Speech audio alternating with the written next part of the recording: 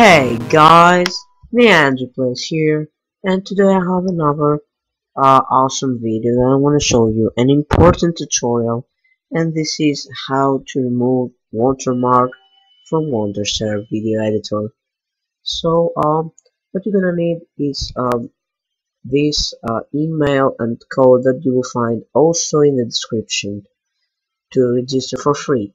So, what you're gonna do is um, to go to this um, symbol here. You click it.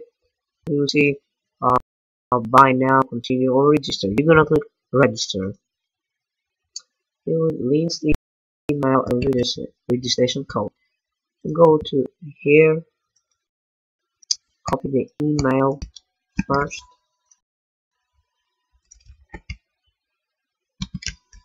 And then the code.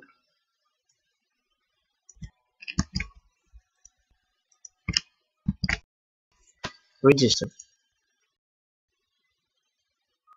Once your video editor has been registered. So now, uh, if you do a video, um, it won't be the watermark. I promise, guys.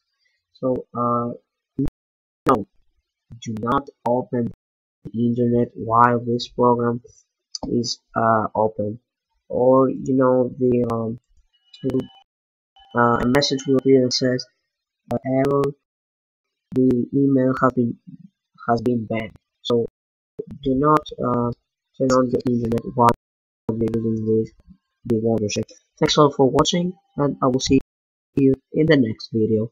Bye bye